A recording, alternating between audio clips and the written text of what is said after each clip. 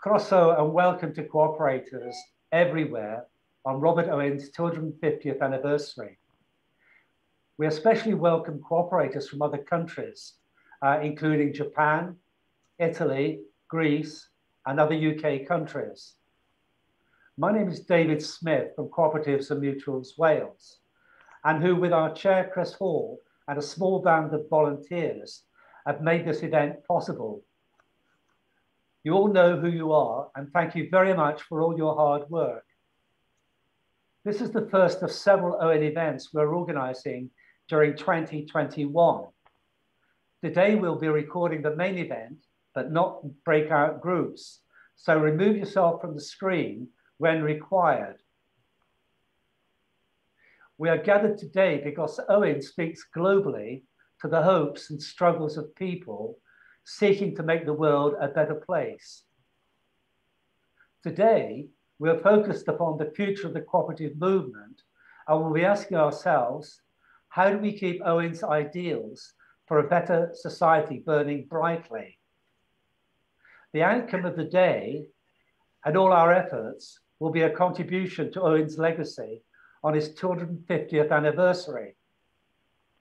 Normally, at previous events, we would explain safety precautions and where the toilets can be found.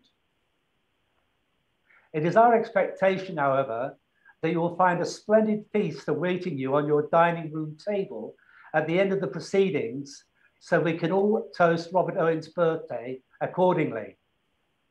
Nevertheless, it is my pleasure to introduce a pre-recorded video of Newtown's Mayor, Councillor David Selby, who has been very proactive and who fully understands the significance of Robert Owen.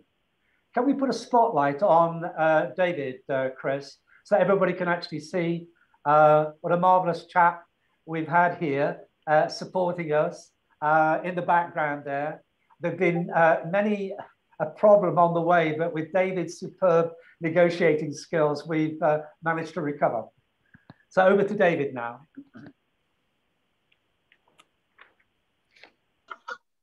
We are proud to have both a statue of Robert in an area known as the Robert Owen Gardens and his memorial next to the ancient church of St Mary's near to the river. As I speak to you, you will be able to see views of our town. Some of these views Robert would have been able to recognise 200 years ago.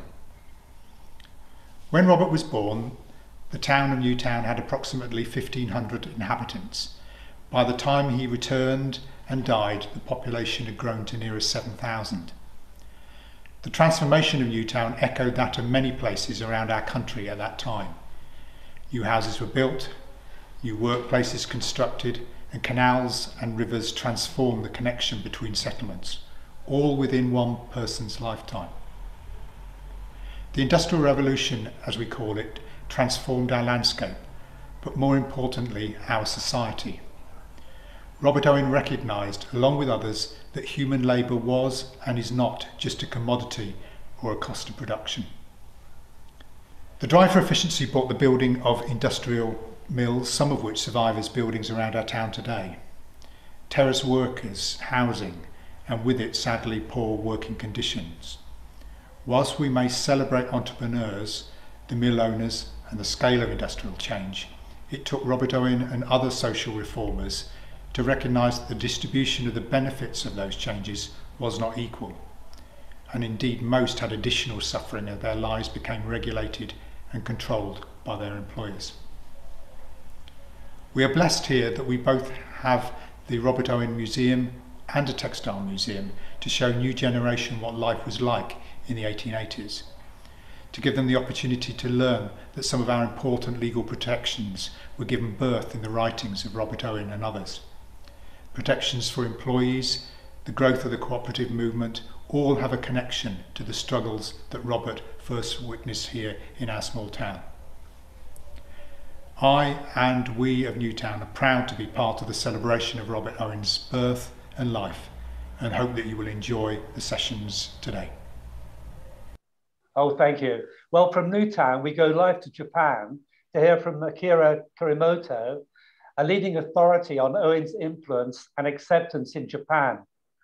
Uh, Akira is a former general secretary of the Robert Owen Association in Japan and a leading member of the organizing committee for the International Cooperative Alliance's Global Conference in Seoul, which takes place in December of 2021. It's our pleasure to introduce Akira today uh, on Owen's uh, anniversary. Akira, over to you. Hello, everyone. Now I'd like to speak from Far East, from Japan, uh, to give you greetings from Japan on the occasion of the 250th anniversary of Robert Owen. Uh, first, I must say uh, con congratulations uh, to the anniversary of Robert Owen.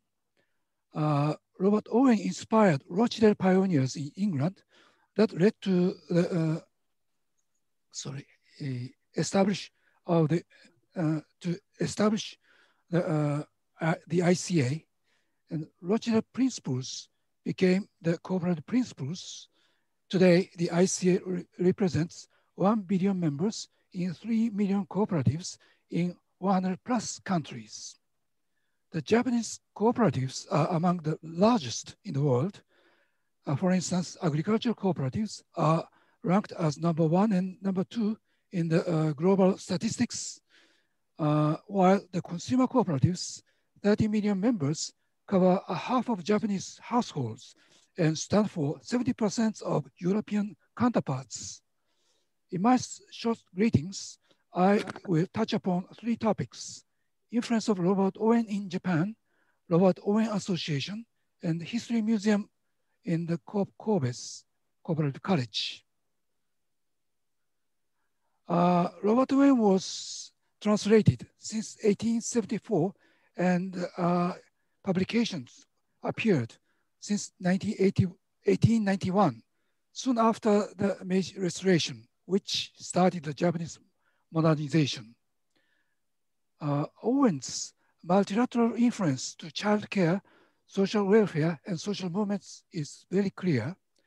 And Owen seen as a father of socialism, and but Owen found the largest support in the cooperative movement in Japan accepted by cooperative leaders such as Toyohiko Kagawa and Sadao Nakabayashi. And he had given, uh, he has given rather limited inspiration to communal life. There are some, but, but very, very small. Owen studies as pursued by researchers of social philosophy uh, has made up the Robert Owen Association. And there are uh, at least two uh, collection of, of Robert Owen in Hitotsubashi University and Meiji University in Tokyo. Uh, now I come to uh, the Robert Owen Association. It was founded by Shigeru Goto and, and others in 1955, commemorating a centenary of Robert, Robert Owen's demise. Uh, it was revived, revived on Owen's bicentenary in 1971, receiving uh, Mrs. Caroline Dale Owen Baldwin. Atsushi Shirai had described some uh, Owen's impact in the Japanese society. Now, the Robert Owen Association has 70 plus members. Uh, there are uh, some colleagues who are joining here today amongst the Robert Owen Association members. It is located in the Consumer Cooperative Institute of Japan, Tokyo. And it holds quarterly study meetings and publish the Robert Owen Annals since 1975. Uh, this association uh, had lectures by Donald Pitzer from uh, United States, Johnston Birchall, Gregory Claeys from UK. Uh, this is a Japanese uh, publication, uh, Annals uh, for 2020. There are two English publications. Uh, one was Robert Owen and the World of Cooperation, edited by Chu Tsuzuki uh, in 1992 to commemorate the ICA's Tokyo Congress. And you can see here the uh, famous uh, uh, researchers of Robert Owen, like Gregory, Gregory Claeys, Hayden, Royden Harrison, and JFC Harrison, etc. The second publication in English was The Emergence of Global Citizenship, Utopian Ideas, Cooperative Movements, and the Third Sector, edited by Tsuzuki, uh, Naobumi, uh, Hijikata, and myself.